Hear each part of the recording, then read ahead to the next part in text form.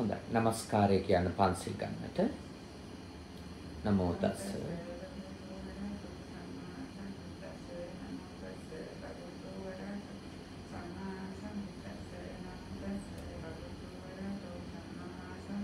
බුද්ධං සරණං ගච්ඡාමි.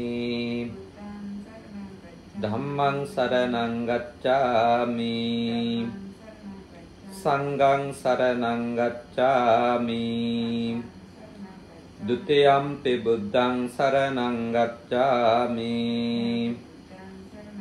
ဒ ුතියම්පි ධම්මං සරණං ගච්ඡාමි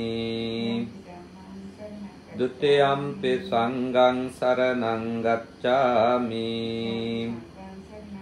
තතියම්පි බුද්ධං සරණං ගච්ඡාමි තතයම්පි ධම්මං සරණං ගච්ඡාමි. තතයම්පි සංඝං සරණං ගච්ඡාමි. තිසරණ ගමනං සම්පුන්නං පානාති පාතා වේරමණී සික්ඛාපදං සමාදියාමි. අදින්නාදානා වේරමණී සික්ඛාපදං සමාදියාමි. කාමේසු මිච්ඡාචාරා වේරමණී සික්ඛාපදං සමාදියාමි. මුසාවාදා වේරමණී සික්ඛාපදං සමාදියාමි.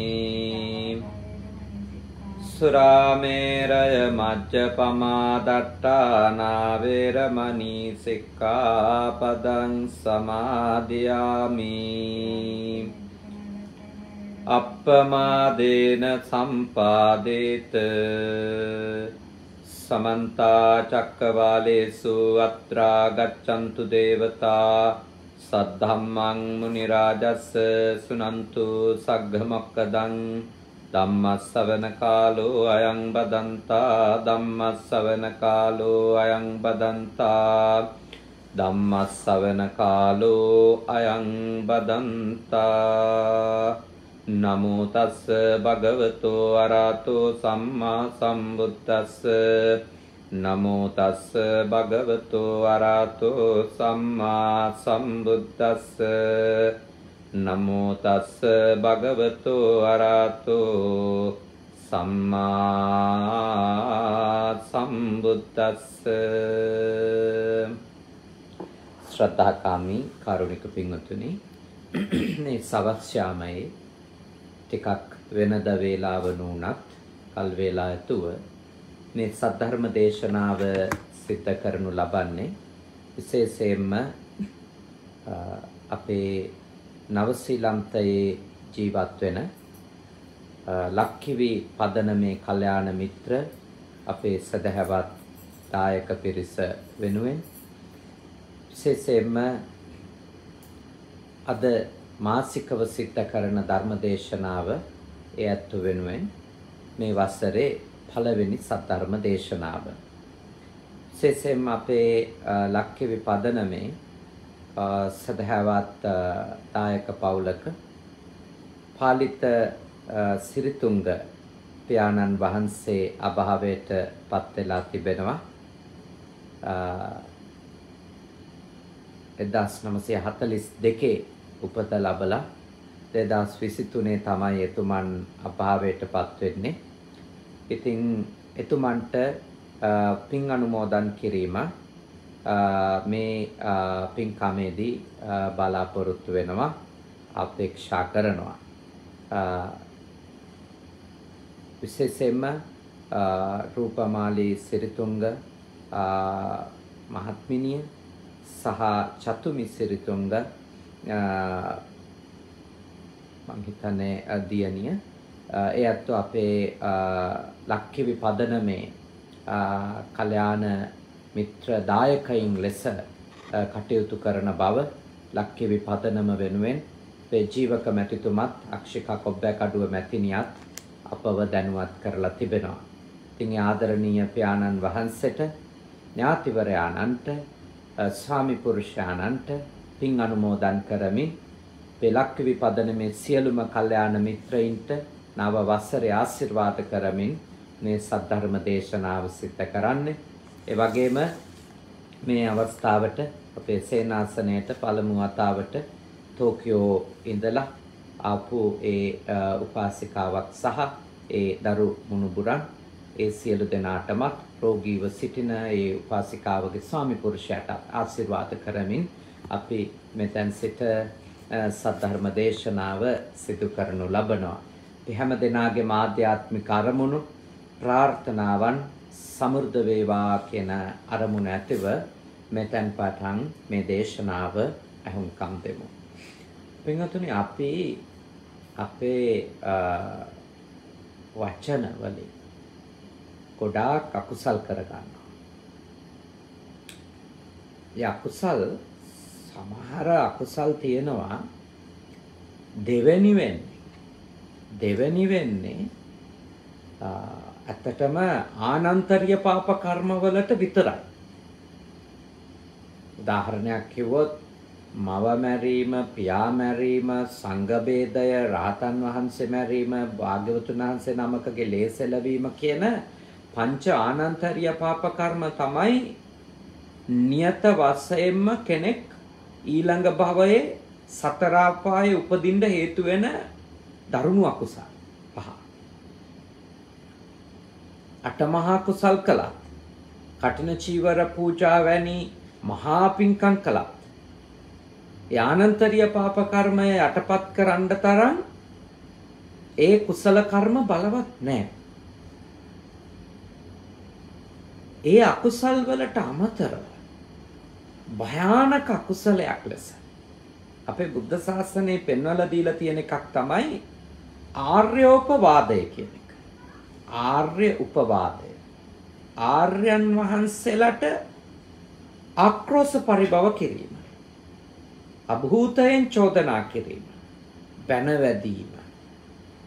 එක ඊටාම දරුණු නරක නපුරු අකුසලයක් ලෙස තමයි තථාගත ශාසනය පෙන්වලා ව්‍යසන කියලා සූත්‍රයක් තියෙනවා. අංගුත්තර නිකායනේ. අංගුත්තර නිකායේ තියෙන ව්‍යසන කියලා සූත්‍රයක්. කිව්වේ කෙනෙකුට විනාශයක් කොහොමද වෙන්නේ?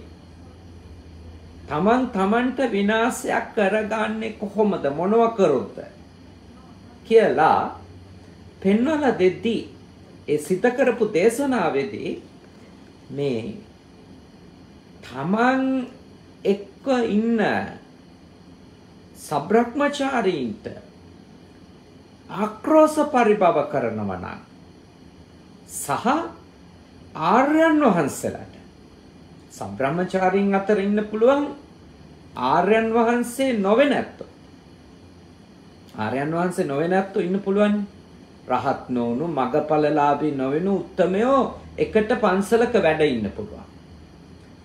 එතකොට එවැනි උත්තමයින්ට හෝ නැත්තම් එකට ජීවත් වෙන සාමාන්‍ය ස්වාමින් වහන්සේලට රහතන් වහන්සේලට ආරයන් වහන්සේලට හෝ සාමාන්‍ය ස්වාමින් වහන්සේලට යම්කිසි කෙනෙක් ආක්‍රෝෂ කරනවා නම් පරිභව කරනවා නම් බනිනවා නම් ඒක ශාසනය පෙන්වලා දීලා තියෙන්නේ දේශනාවේ පෙන්වලා දීලා තියෙන තමන් තමන්ට කරගනු ලබන වේශනයක් ලෙස. ඒක මතක තියාගන්න. ඒක පැවිද්දෙක් කරගන්න වේශනයක් විතරක් නෙමෙයි. ඒක කිහියටත් අදාළයි. ආර්යයන් වහන්සේලට අපවාද උපවාද කිරීමේ අකුසලය එහෙම නැත්නම් පැවිදි කෙනෙකුට අපවාද උපවාද කිරීමේ සීලාදී ගුණයක් පුරන කෙනෙකුට ආක්‍රෝෂ පරිභව කිරීමේ නිඳා කිරීමේ අකුසලය කාටත් එන එකක්. එතකොට ගොඩාක් පරිස්සම් වෙන්න ඕනි දෙයක් ඒක. කෙනෙක් කියන්න පුළුවන් අපි බනින්නේ වැරදි කරන හාමුදුරුලට කියලා. ඇත්තටම මිනිස්සු බනින්නේ වැරදි කරන හාමුදුරුලට විතර නෙමෙයි. මිනිස්සු ආක්‍රෝෂ කරන්නේ පරිභව කරන්නේ ඇත්තටම ගත්තොත් තමන්ගේ මතය නොවන වෙන මතයක් කිව්වත් මිනිස්සු හාමුදුරුලට ආක්‍රෝෂ පරිභව කරන්නේ නැද්ද? තමන් පිළිගන්න මතය නොවන වෙන මතයක් කිව්වත් සමහර විට ධර්මයේ සම්බන්ධව ආක්‍රෝෂ කරනවා. නරක වචන, පරුස වචන කියලා කොච්චර කමෙන්ට් කරනවද? කොච්චර අසභ්‍ය වචන පාවිච්චි කරනවද? ඒව කරගන්න එපා කියලා තමයි මේ දේශනාව ඒව ව්‍යසන තමන්ටම තමන් කරදර කර ගැනීමක් තමන්ගේ ජීවිතේට තමන්ම තමන්ට අපරාධ කර ගැනීමක් ලෙස තමයි තථාගතයන් වහන්සේගේ දේශනාවේ ඒ වගේ දේවල් පෙන්වලා දීලා තියෙන්නේ.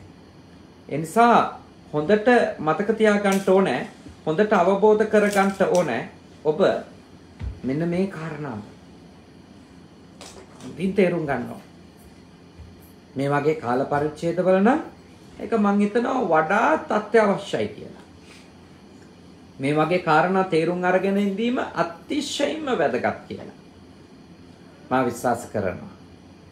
මොකද ගොඩාක් මිනිස්සු Tamanට සමාජ මාධ්‍ය පාවිච්චි කරන්න ලැබිලා තියෙන නිසා ඒවායේ නිතහසේ Tamanට කමෙන්ට් කරන්න ඒවට අවස්ථා ලැබිලා තියෙන නිසා ඕන කෙනෙකුට Facebook එකක් හදාගෙන ලයිව් ඇවිල්ලා කුණහරුප කියන්න අවස්ථාව හම්බ වෙලා තියෙන නිසා ගොඩාක් පව් කරගන්න. මිනිස්සු ඇත්තටම දන්නේ නැහැ තමන් මේ නින්දා කරන තමන් මේ බනින ස්වාමින් වහන්සේලා ගුණවත් අයද දුර්ගුණ සහිත අයද කියලාවත් මිනිස්සු දන්නේ එක දවසක්වත් ඇසුරු නොකරපු එක දවසක්වත් තමන් දානයක් මානයක් දීලා ළඟට ඇවිල්ලවත් නැති කෙනෙකුට මාධ්‍යකින් දැකලා විතරක් කෙනෙක් ආක්‍රෝෂ පරිභව කරගන්නවා කියන්නේ එයා යාට කරගනු ලබන අපරාධයක්. ඒකේ හාමුදුරුවන්ට අපරාධයක් නෙමෙයි. දැන් බුදුරජාණන් වහන්සේට කොච්චර අය අපවාද කරාද ආක්‍රෝෂ පරිභව කරාද අක්කෝස භාරද්වාජ කියලා කෙනෙක් නේ. එයා ආක්‍රෝෂමයි කරන්න. කේන්තියෙන්මයි නිතර ඉන්නේ. ඇත්තා తත්‍රේව මුණ්ඩක తත්‍රේව සමනක తත්‍රේව වසලක. යේහි යේහි තිට්ඨා හීති කියලා භාග්‍යවතුන් වහන්සේට බොහෝම දරුණු විදියට කතා කරනවා. දරුණු විදියට කතා කරනවානේ මුඩු මහණ වසලය කොච්චර නරක වචන කියනවද භාග්‍යවතුන් වහන්සේට උන්වහන්සේට ඒකෙන් මුකුත් උනේ නැහැ. හැබැයි ඇත්තට ලොකු අකුසලයක්. ඒ අත්තට ලොකු අපරාධයක්. ලොකු අවඩක් ඒ අත්තට කරගත්තා. එයාම කරගත්තා. ඒ නිසා මතක තියා ගන්නට නේද? ඊටාම බුද්ධිමත්ව හොඳින් තේරුම් ගන්නට ඕනි දේ තමයි ආක්‍රෝෂ කිරීම කියන එක Taman දන්නේ නැතුව කෙනෙකුට විශේෂයෙන්ම සීලාදී ගුණ පුරන කෙනෙකුට Taman Tamanට කරගනු ලබන දරුණු අපරාධයක්. Taman සාමාන්‍ය ආමුදුරු කෙනෙකුට බැන්නට කුණු හarp කීවට නිന്ദා පහස කරාට ආමුදුරුන්ට මොනවත් වෙනවද? මුකුත් වෙන්නේ නැහැ. ඒ ආමුදුරුන්ගේ ඇඟේ ඇලෙනවද ඒ වචන? නෑ. ඒ හමුදුරන්ට ඒ වචනින්දා කායික තුවාල සිද්ධ වෙනවද? නෑ. අපවත් වෙනවද? නෑ. සමහර ආඳුරලා ඉන්නවානේ. මිනිස්සු මොන කුණුහරුප කියලා බැන්නත් මොන අසභ්‍ය වචන පාවිච්චි කරලා බැන්නත් ඒ ඇත්තු කරගෙන යන්නේම නවත්තන්නෙත් නෑ. එතකොට මතක තියාගන්න තමන් තමන්ට විනාශ කරගන්නව විතරයි මෙතන වෙන්නේ. තමන් තමන්ට අපරාධයක් කරගන්න එක විතරයි වෙන්නේ. භාග්‍යවතුන් වහන්සේ පෙන්වලා දෙනවා ඒ වගේ අක්‍රෝෂ කරන පරිභව කරන දන්නේ නැතුව හෝ දැනගෙන හෝ ඒ වගේ සබ්‍රාහ්මචාරීන් වහන්සේලට හෝ ආර්යයන් වහන්සේලාට උපවාද කරන අයට විපාක ටිකක් තියෙනවා. මොනවද ඒ විපාක? පළවෙනි එක. අනධිගත භෝගය නොලබන්නේය. පළවෙනි විපාකේ තමයි. තමන්ට මෙතෙක් නොලැබුණු යමක් තිබෙනවා නම් ඒවා ලැබෙන්නේ නැතුව යනවා එක විපාකයක් විදියට. ආර්යයන් වහන්සේලාට අක්‍රෝෂ පරිභව කරන අයට සබ්‍රහ්මචාරින් වහන්සේලාට අක්‍රෝෂ පරිභව කරන අයට නොලැබුණු භෝග සම්පත් ලැබෙන්නේ නැතුව නොලැබිච්ච ලැබෙන්නේ නැතුව දැන් කෙනෙකුට මෙතෙක් නොලැබිච්ච තියෙන්න පුළුවන්. එයා උත්සාහවන්තව, වීරවන්තව, යහපත් කායික වාචසික විනයක් ඇතුව වැඩ කරනවා නම් නොලබපු දේවල් ලබා ගන්න පුළුවන් අපි සාමාන්‍ය එදිනෙදා ජීවිතයේදී වුණා අපි කෙනෙකුට ලස්සනට කතා කරනවා. විවේචනයක් වුණත් වැදගත් විදියට කරනවා. නම් අපි අකමැති දෙයක් වුණත් එයාගේ තියෙන අපි ඒක ඒක හරියට ලස්සනට වැදගත් විදියට ඒක කියලා දෙනවා. නම් එතකොට අපිට තරහකාරයෙක් නෙමෙයි හැදෙන්නේ සමහර විට අපි ඒ කතා කරන විදිය කොච්චර අසීරු ප්‍රශ්නයක් වෙලා විදි වුණත් කතා කරන විදිය දැකලා හැසිරෙන විදිය දැකලා කොච්චර අය පහතිනවද? එතකොට නොලැබපු දේ Tamanට තාම ලැබිලා නැති දේ අපේ වාචසික හැසිරීම කායික හැසිරීම දැකලා ලැබෙන්න කරුණු කාරණාය දෙනවා. මතක තියාගන්න. නිතර අන් අයට ආක්‍රෝෂ පරිභව කර කර ඉන්නව නම් විශේෂයෙන්ම සිල්වතුන්ට ගුණවතුන්ට මතක තියාගන්න නොලබපු දේවල් නොලැබිලාම යනවා. තාම ලැබිලා නැති දේවල් ලැබෙන්නේ නැතුවම යනවා. ඒක තමයි භයානක විපාකයක් කෙනෙකුට සිල්වතුන්ට ගුණවතුන්ට ආර්යයන් වහන්සේලට අපවාද උපවාද අක්‍රෝෂ පරිභව කිරීමේ පළවෙනි විනාශය ලෙස ව්‍යසනය ලෙස අංගුත්තර නිකායේ භාග්‍යවතුන් වහන්සේ කරුණු 11ක් පෙන්වමින් පළවැන්න ලෙස පෙන්වලා දීලා තියෙනවා. ගොඩක් පරිසම්. හිතන්න. ගොඩක් අය කියන මට මේවා ලැබෙන්නේ මට මේවා ලැබෙන්නේ හැබැයි ඔබට සමහර විට දේවල් නොලැබෙන්න මේ වගේ අකුසල් බලපාලා ඇති. මොකද මන් දන්නවා සමහර වෙලාවට දේවල් නොලැබෙන අය දේවල් අඩුවෙන් ලැබිලා තියෙන අය හෝ බොහොම මේ ලැබීම අවමම අය නේද? බොහෝ වෙලාවට හරි තරහෙන් ඉන්නේ. හරි තරහෙන් ඉන්නේ. ඉතින් ඒ වගේ ද්වේෂයෙන් ඉන්න අය නිතර මා දකින්න දෙයක් තමයි කාට හරි වයින්නවා. කාට හරි වයින්නවා. එයා කවුද? එයාගෙන් වෙලා තියෙන සේවය මොකක්ද? යහපත මොකක්ද? වැඩක් නෑ. අතෘප්තිමත්ව ඉන්න අයගේ එකක් තමයි වයින් එක දැන් සමහර අය සිවුරු දාගෙනත් ඉන්නවා අපි දකිනවා ගිහියොත් ඉන්නවා සමහරු නම් YouTube හදාගෙන ඒවට මේ views වැඩි කරගන්නනේ නරක වචන ආක්‍රෝෂ පරිපව කරමින් වීඩියෝස් දාන ඒගොල්ලෝ දන්නවා එතකොට ඒ වගේ එකක් දැක්කම මිනිස්සු ටිකක් බලනවා ඉතින් එහෙම මේ බැලුවම Tamanට කීයක් හරි ලැබෙන හින්දා එහෙම කරන අය ඉන්නවා. හැබැයි ඒගොල්ලෝ දන්නේ නැහැ. Taman ඒ විදියට සබ්‍රක්‍මචාරින් වහන්සේලට පැවිද්දෙක් නම් එකම ශාසනයේ ඉන්න තවත් පැවිද්දෙකුට සබ්‍රක්‍මචාරින් වහන්සේ නමකට නරක අසභ්‍ය වචන කියමින් බැන අඬ ගැසීම තමන්ට නොලැබුණු දේත් නොලැබී යන්න හේතුවක්. සබ්‍රාහ්මචාරීන් වහන්සේලා තමන්ගේ කට පරිස්සම් කරන් ජීවත් වෙන්න ඉගෙන ගන්න ඕන. සිවුරු ඇඳගෙන ඉන්න අය තමන්ගේ ශාසනයේ ඉන්න අනිත් ඇත්තන්ට කතා කරනකොට ගොඩාක් සිහි කල්පනාවෙන් කතා කරනවා. හොඳට හිතලා මතලා කතා කරන්න ඕන. මොකද Taman දන්නේ නැහැ සමහර වෙලාවට. Taman මේ ආක්‍රෝෂ පරිභව කරන කෙනාගේ ආධ්‍යාත්මික දියුණුව කොයි වගේ එකක්ද කියලා. එයා මාර්ගඵලලාභී. එහෙමත් නැත්නම් එයා මාර්ගඵල ලබල නැතත් ඊටාම සීලාදී ගුණ පුරණ කෙනෙක්ද? ආධ්‍යාත්මිකව ඊටාම බලගත්ු කෙනෙක්ද?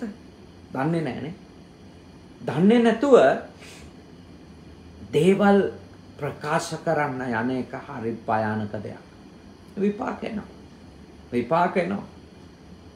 ඒක තමයි යථාර්ථය. නොලැබිච්ච ඒවා ලැබෙන්නේ නැතුවම යන්න එක හේතුවක් තමයි ගිහියන්ට වුණත් පැවිද්දන්ට වුණත් සිල්වතුන්ට ගුණවතුන්ට කිසිදු අවබෝධයකින් තොරව ආක්‍රෝෂ කිරීම පරිභව කිරීම පළවෙනි දෙවෙනි දේ තමයි ලැබෙච්ච දේවල් අහිමි වෙනවා.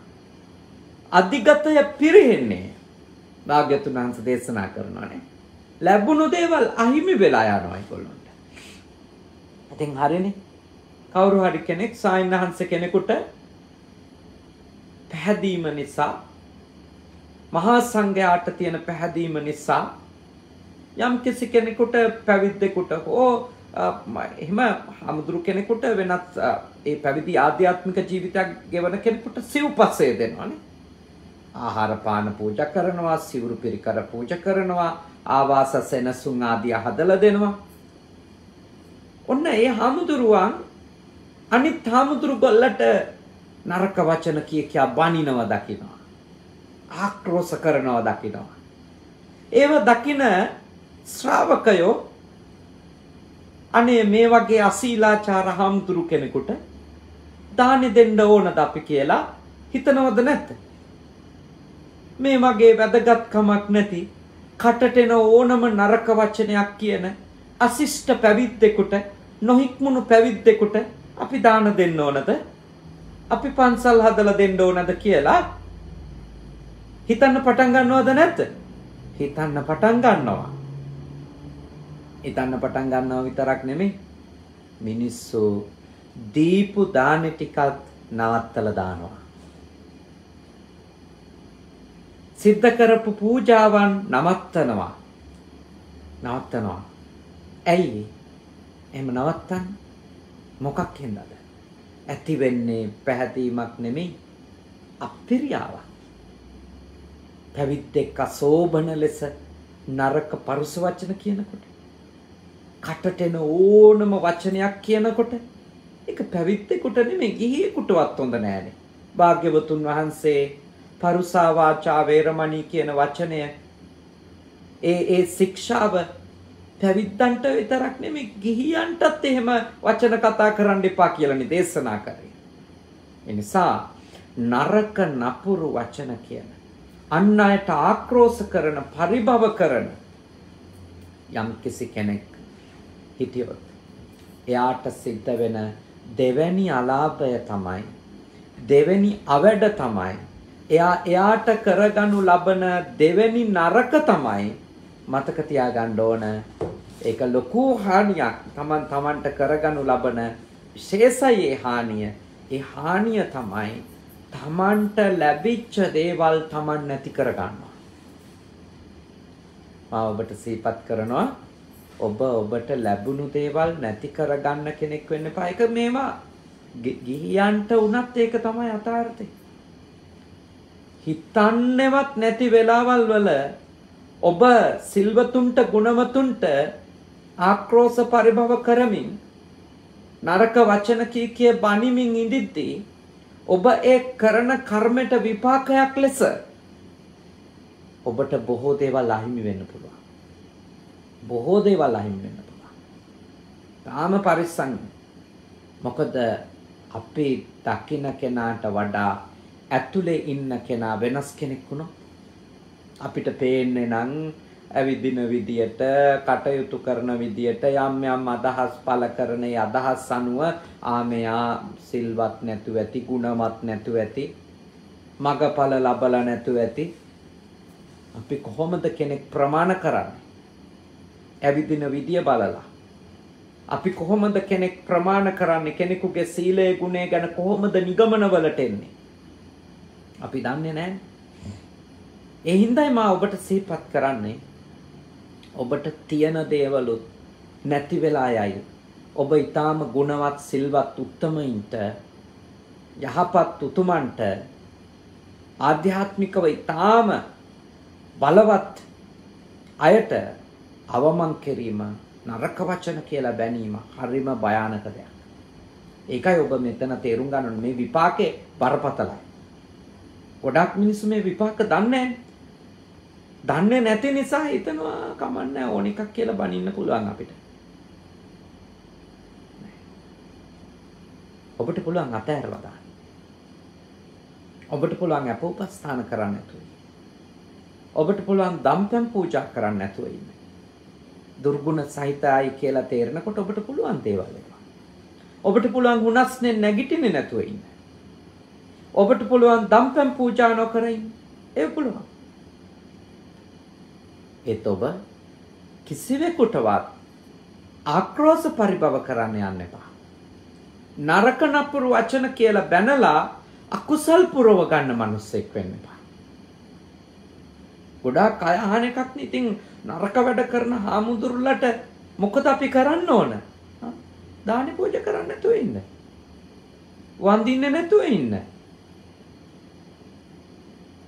දැක්කම ඉන්න ආසනෙන් නැගිටින්න නැතුව ඉන්න. ඒවා කිසිම අකුසල් නෙමෙයි ඒවා. ප්‍රතික්ෂේප කරන්න. අකුසල් නෙමෙයි. ඒකෙන් ඔබට වැඩක් වෙන්නේ නැහැනේ. හැබැයි කට තියෙන නිසා නරක වචන කියෝ කියෝ ගිහිලා පව් පුරව ගන්න එපා. මේක හරිය වැදගත් කියන්න. තාම වැදගත්. මොකද මේ බුද්ධ ශාසනයේ අතීතෙවත් අදවත් අනාගතේවත් වැඩ ඉන්න සියලු ස්වාමීන් වහන්සේලා සිල්වතුන් වෙන්නේ නැහැ. ගුණවතුන් වෙන්නේ නැහැ. මගපලලාභියෝ වෙලත් නැහැ වෙන්නෙත් නැහැ.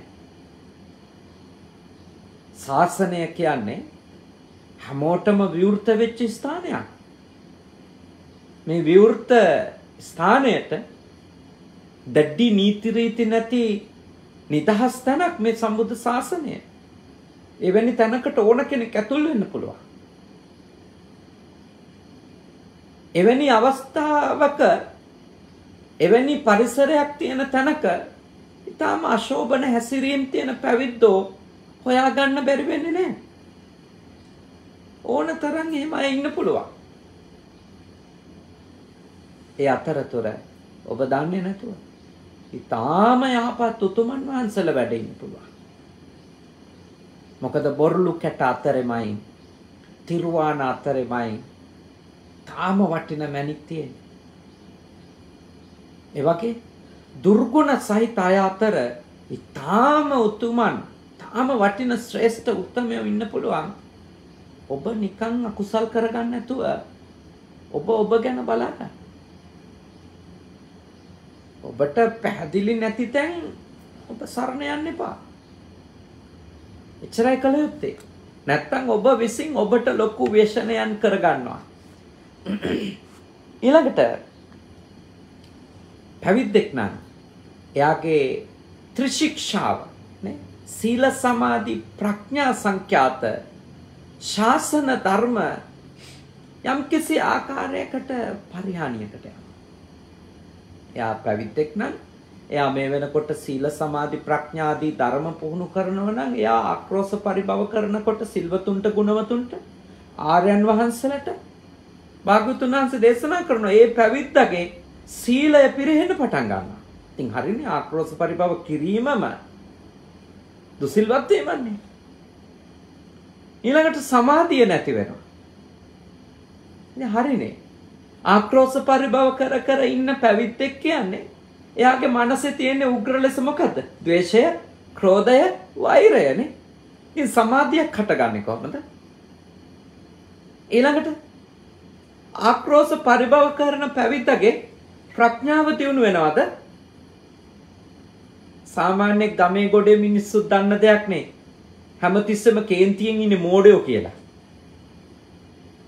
හැමතිස්සෙම කේන්තියෙන් ඉන්නවනම් අඥානයෝ කියලානේ අනුවනයෝ කියලා මේ ගමේ ගොඩේ ඉන්න අහිංසක මහා උපාධි නෙමෙයි ඉස්කෝලේට ගියපු නැති මල පොතේ අකුරවත් දන්නේ නැති අහිංසක උපාසකම්මලක් දන්නවා. මෝඩයෝ තමයි නිතරම දත්මි ටිකක් අයින්නේ කියලා. මොන ප්‍රඥාවක්. ඉතින් පැවිද්දෙකුගේ සීල සමාධි ප්‍රඥා පිරිහිලා යන්න එයාගේ ඇතුලේ නිතරම කුණුහරුප කියමින් ආක්‍රෝෂ පරිභව කරමින් අන් අයට වචන වලින් හිංසා කරමින් ඉන්න පැවිද්දගේ සීලය වැඩෙන්නේ සමාධිය වැඩෙන්නේ ප්‍රඥාව වැඩෙන්නෙම නැහැ. කොහොම වැඩෙන්න දේ උතුම් ධර්ම? ඒක මතක තියාගන්න. ඒක පැවිද්දට විතරක් නෙමෙයි. ඒක ගිහියටත් අදාළයි. ගිහියෙක් නිතර නිතර ආක්‍රෝෂ කරනවා නම් පරිභව කරනවා නම් සිල්වතුන්ට ගුණවතුන්ට ඒ ඇත්තගේ ආධ්‍යාත්මයේම ඒ ඇත්තගේ සීලයක් ගොඩ නොනැගෙන්න හේතු හැදෙනවනේ. ඇයි ඒ හේතුව අර ඇතුලේ දරුණු ලෙස කැකෑරෙන තරහනේ. දරුණු ලෙස තරහෙන් වෛරෙන් කැකෑරි කැකෑරි ඉන්න මිනිස්සෙකුට විනයක් හදා ගන්න පුළුවන් නේ. එහෙම වෛරෙන් ක්‍රෝධෙන් කැකෑරෙන හැම තිස්සෙම මහ දරුණු හිතකින් ඉන්න මිනිස්සෙකුට පුළුවන් ද හිත එකඟ කරගෙන පාරේවත් යන්න. එහෙම දරුණු ද්වේෂෙන් ක්‍රෝධෙන් ඉන්න අය බලන්නකෝ ගෙදරක චුට්ටක් ඇවිද්දත් පුටුවල හැප්පෙනවා ඒවා කඩනවා බිඳිනවා කෝප්පවල බැදෙනවා කොච්චර හානි කරගන්නවද කිසි දෙයක් හිත එකඟ කරගෙන තරහින් කරන්න පුළුවන්ද? කේන්ති ගියපු වෙලාවට පලා ටිකක් ලියමින් ඉන්නවා කියලා හිතන්න. ඇඟිලි කැපෙන්නේ නැත්. ලූණු ගෙඩියක් කපා ගන්න පුළුවන්ද හිත එකඟ කරගෙන? ඉතින් හිතන්න සබ්‍රහ්මචාරීන්ට සිල්වතුන්ට ගුණවතුන්ට නරක වචනෙන් ආක්‍රෝෂ පරිභව කර කර ඉන්න තරම් ලොකු කේන්තියක් තියෙනවා කියන්නේ ඒක සුළුපටු කේන්තියක්ද කියන්නකෝ. එතකොට එවැනි කෙනෙකුට ගිහියෙක් වේවා පැවිද්දෙක් වේවා හිත එකලස් කරන්න පුළුවන්ද? එතකොට තමන් ඒ කරන කර්මේ විපාක නෙමෙයි දෙන්නේ.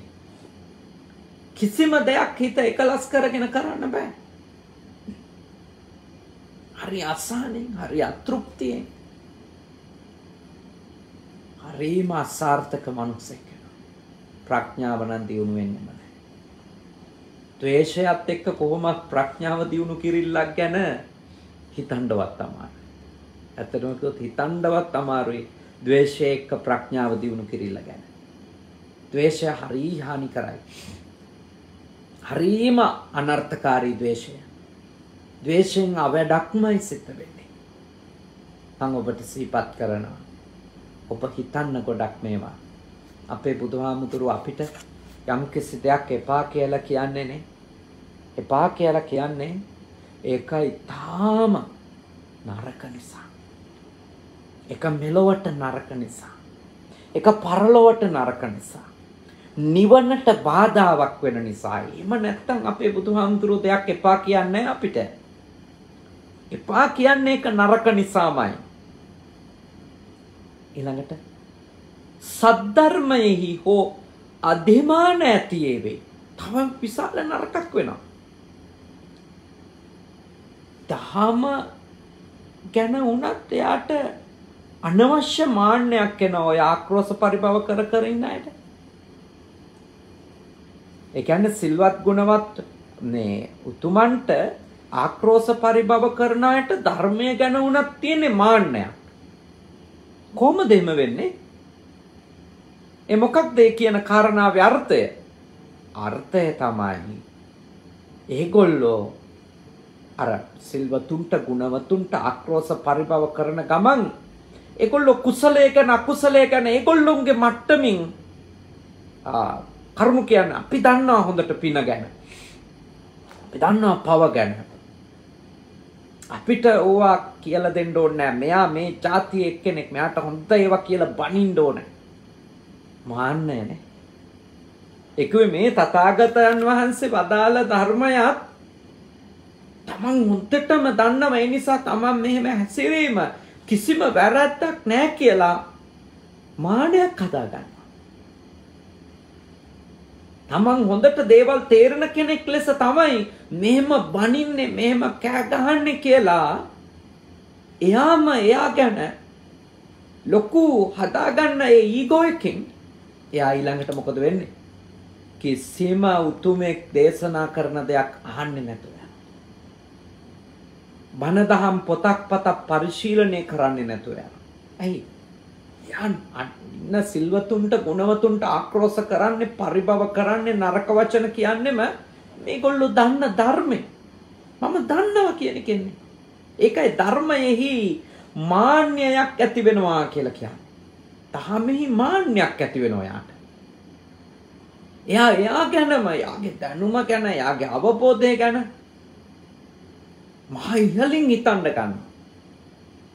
ඇත්ත වශයෙන්ම ඉතින් ඔය අන් අයට ආක්‍රෝෂ පරිභව කරමින් අවමන් කරන ගොඩාක් අය මම දැකලා තිනවා ඒගොල්ලොන්ට කිසිම දෙයක් තෝරලා දෙන්න බෑ. මොකද ඒගොල්ලෝ හිතන් ඉන්නවනේ ඒගොල්ලෝ කරන දේ හරියට හරි කියලානේ. ඒගොල්ලෝ හිතනවා ඒගොල්ලෝ කරන දේ හරියටම හරි කියලා. ඒගොල්ලෝ එකට තර්ක කෙස් පැලෙන තර්ක ගේනවා. මහා තර්ක කරමින් ඒගොල්ලෝ ඔප්පු කරනවා අපි හරි. මාත් සිහි කරනවා. තර්කෙනුත් දිනන්න පුළුවන් මේ.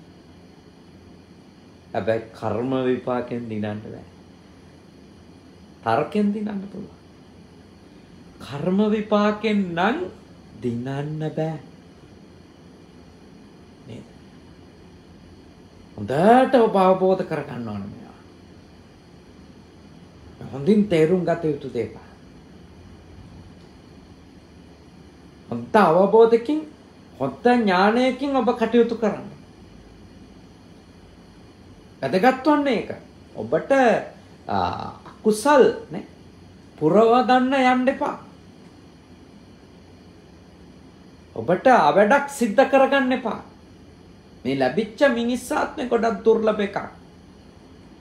ඔබ බැනාඩ ගසන නින්දා කරන අවමන් කරන කටට එන එකක් කියලා දාන්නේ ඔබ ඔබ දන්නේ කාටද කියලා කියන්නේ.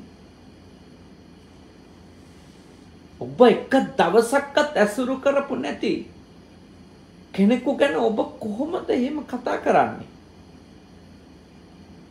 හොඳට තේරුම් අරන් ඉන්න. අවැඩ කරගන්න එපා. ඊළඟට නොඇලුනේ හෝ බඹසර හැසිරෙයි. ඒ කියන්නේ එයා සාසනික ජීවිතයක් ගත කරන පැවිද්දෙක් නම් එයා මේ පැවිදි ජීවිතයට ඇලුණු කෙනෙක් වෙන්නේ නැහැ. අක්‍රෝෂ පරිභව කර කර ඉන්න පැවිද්දෙක් වුණොත් ඒ පැවිද්දා සාසනික ජීවිතයක් ගත කරනවා කියලා නම් හිතන්න එපා. නරක වචන කියමින් අන් අයට බැන බැන ඉන්න පැවිද්දෙක් ගෙවන්නේ සාසනික ජීවිතයක් නෙමෙයි.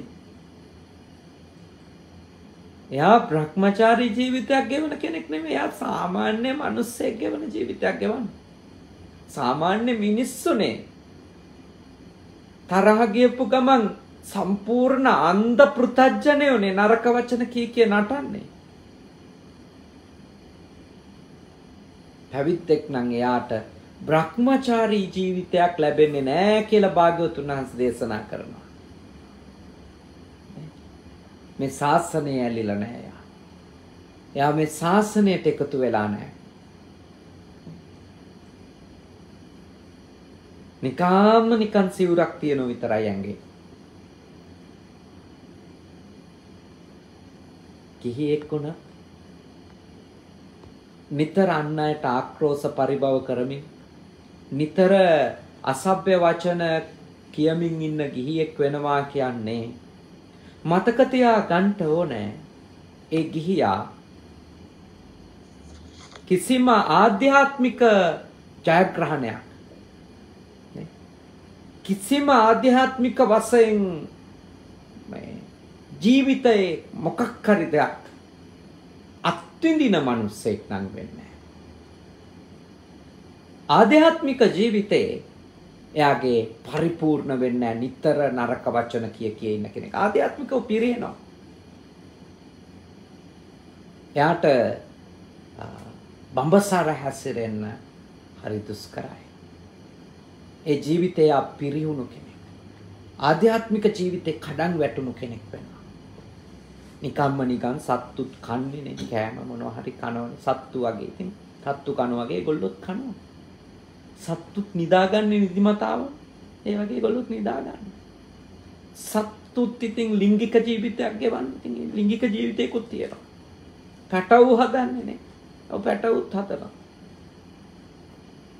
හැබැයි සත්තුන්ට එහා මිනිස්සෙකුට යන්න පුළුවන් දුරක් තියෙනවනේ.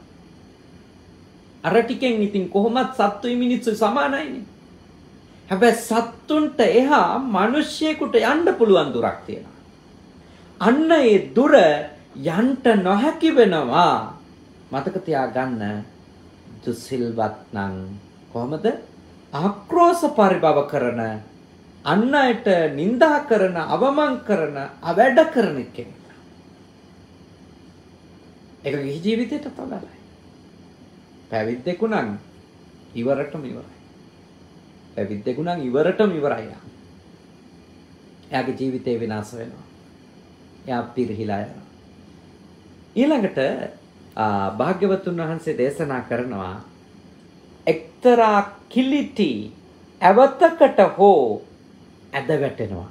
ඒ කියන්නේ ඇවැත්තරි සිද්ධ වෙනවා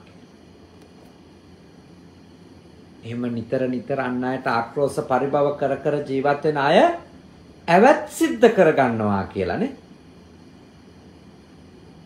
ඇවැත් කියලා කියන ඒවා දේශනා කරාම නැවත සීලේ පිහිටන්න පුළුවන්.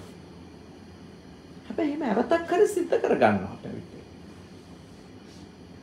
දැන් ආර්යයන් වහන්සේ නමකට උපවාද කරෝතින් දරුණු අකුසලයක්.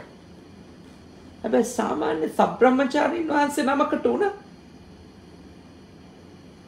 යම්කිසි පැවිද්දෙක් බනිනව නම් නරක වචන කියලා. ඒ ඒ සබ්‍රහ්මචාරීන් වහන්සේ ඒ හාමුදුරුවෝ රහත් වෙලත් නැහැ, සෝතාපන්නත් නැහැ.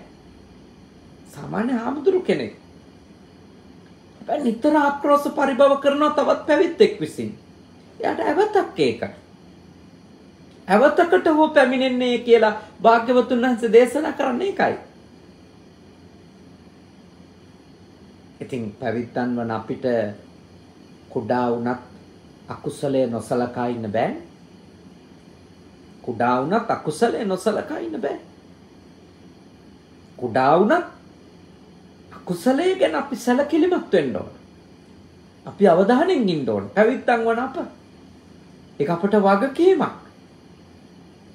අපේ සාසනික ගමන පිරිහෙන්නේ නැතුව පවත්ව ගන්න ඒක අපිට ලොකු අවධානයක් යොමු කළ යුතු එකක්. ඊළඟට දැඩි රෝගාබාධයක් හෝ පහස්නය අන්න අයට අක්‍රෝෂ පරිභව කරන අයට දැඩි රෝගාබාධ හට ගන්න පුළුවන් කියලා. ඒක හරියි. මොකද භාග්‍යවතුන් වහන්සේ ජීවමාන කාලෙම කෝකාලික කියන භික්ෂුවට කෝකාලික භික්ෂුව. සාරිපුත්ත මොග්ගල්ලාන කියන උතුම් මහරහතන් වහන්සේලා දෙන්නට පෞකාර භික්ෂූන් කීකේ චෝදනා කර අක්‍රෝෂ කර පරිභව කර. පෞකාර ආමුදුරු කිසි සීලයක් නැහැ කීකේ බැන්න. ආක්‍රෝෂ පරිභව කරා. මොකද උනේ? භාග්‍යවතුන් වහන්සේ තුන් සැරයක් කිව්වා කෝකාලික සාරිපුත්ත මොග්ගල්ලාන කියන්නේ මහරහතන් වහන්සේලා දෙන්නේ. ඒ දෙනමට ඔය විදියට ක්‍රෝස කරන්න එපා. පරිභව කරන්න එපා. සමාව ගන්න කියලා. තුන් සැරයක් කිව්වා. භාග්‍යවතුන් වහන්සේ දේශනා කර තුන් සැරයක් යාම්දුරන්ට. කෝකාලික පැවිද්දා භාග්‍යවතුන් වහන්සේට කිව්වා ඔබ වහන්සේ දන්නේ නැහැ ඒගොල්ලෝ කියන්නේ. ඔබ වහන්සේ පැත්තකින් ඉන්නකො මම දන්නවා ඒගොල්ලෝ කියන්නේ.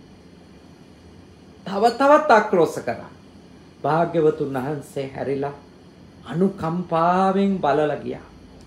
බලලා උන්වහන්සේ වැඩියා. තවදුරටත් කතා කරලා වැඩක් නැහැ. කියලා දීලා වැඩක් නැහැ.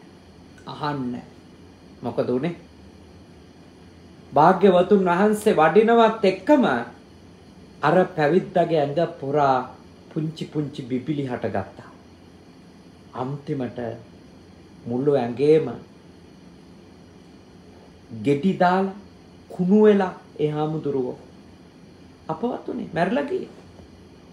ඒක සාරිපුත්ත මහරහතන් වහන්සේගේ සාපයක්ද නෑ?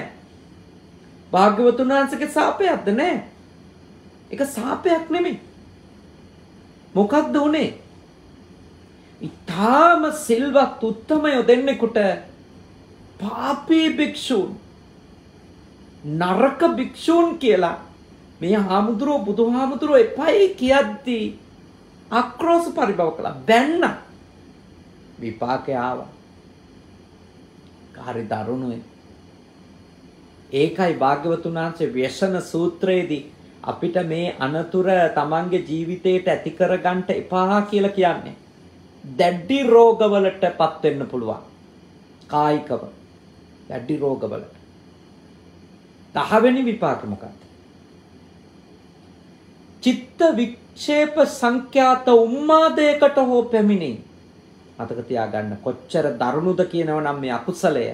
සිල්වතුන්ට ගුණවතුන්ට ආර්යයන් වහන්සේට අක්‍රෝෂ කිරීමේ පරිභව කිරීමේ බැන ඇඬ ගැසීමේ අකුසලයේ කොච්චර දරුණුයිද කියනව නම් මානසික රෝගියෙක් වෙන්න. ඒකයි කියන්නේ චිත්ත වික්ෂේප සංඛ්‍යාත උම්මාදයකට උමතු වෙන්න පුළුවන්. පිස්සු හැදෙන්න පුළුවන් කියලා කියන්නේ.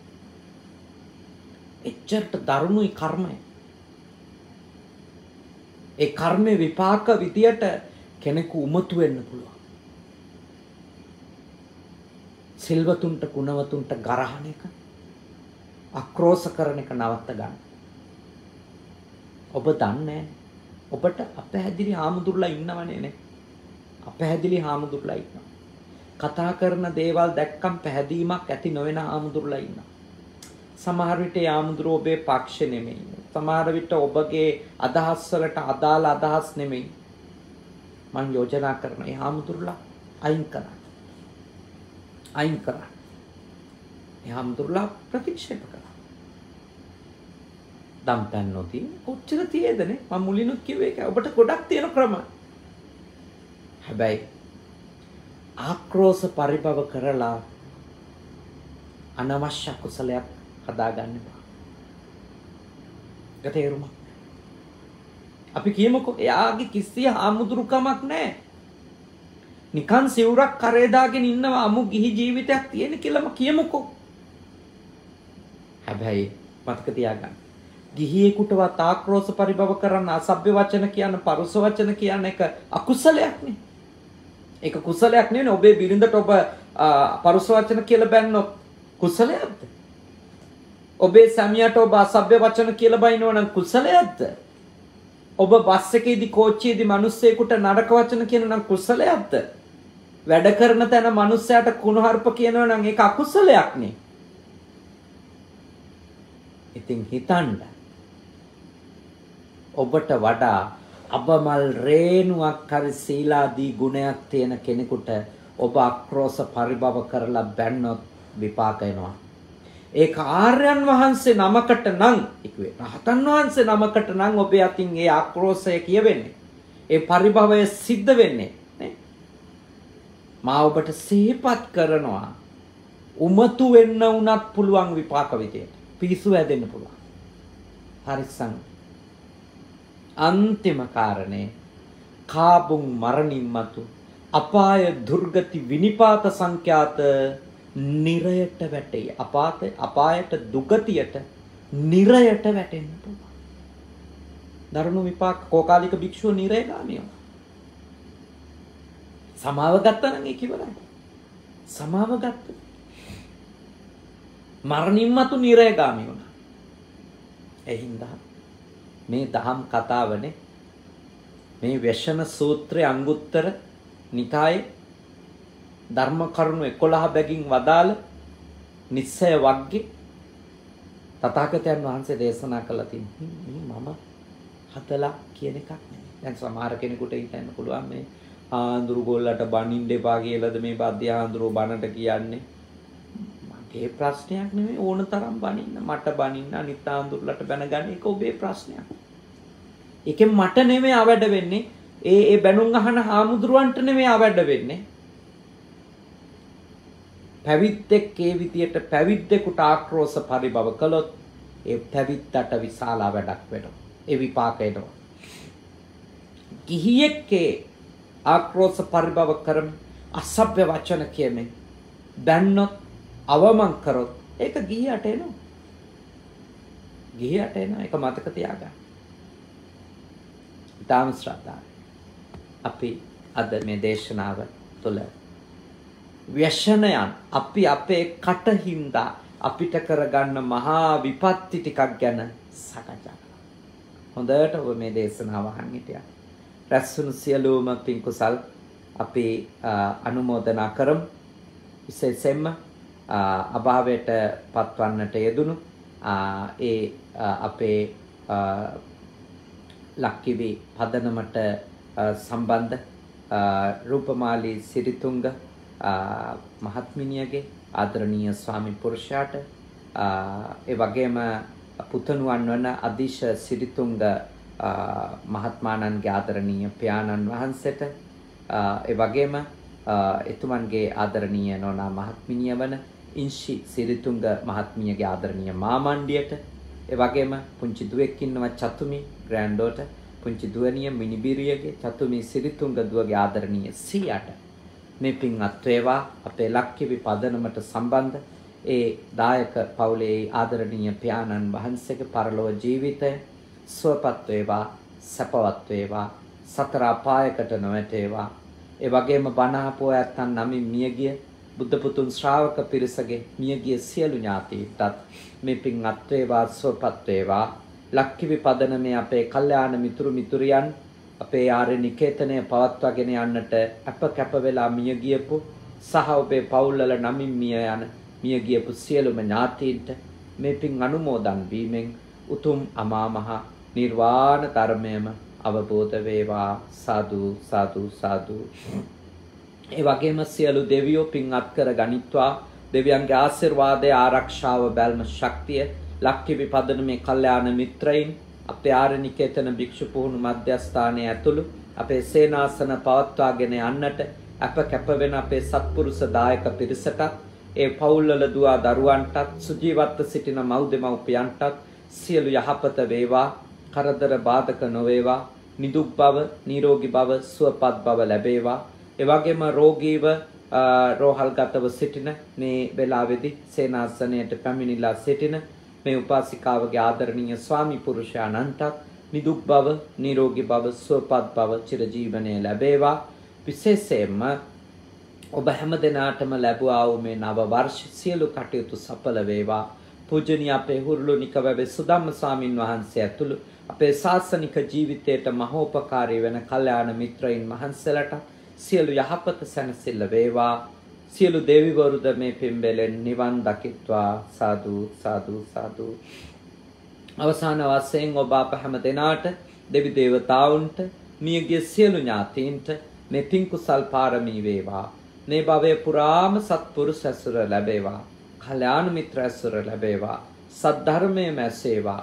ධර්මානුධර්ම ප්‍රතිපත්ති පුරාගෙන ඉක්මන් භවයකදී නිවන් දකින්නට අද කරගත් පින්කම පාරමිතාවක් වේවා. සතු සතු සතු ආකාසට්ඨා ච බුම්මට්ඨා දේවා නාග මහිත්‍තිකා පුඤ්ඤන්තං අනුමෝදිත්වා චිරං රක්칸තු සාසනං ආකාසට්ඨා ච බුම්මට්ඨා දේවා නාග මහිත්‍තිකා පුඤ්ඤන්තං අනුමෝදිත්වා චිරං රක්칸තු දේශනං ආකාසට්ඨා ච බුම්මට්ඨා දේවා නාග මහිත්‍තිකා පුඤ්ඤන්තං අනුමෝදිත්වා චිරං රක්칸තු මම් පරන්ති ඔබ හැම දිනාම නිදුක් වෙත්වා නිරෝගී වෙත්වා සුවපත් වෙත්වා. සාදු සාදු සාදු.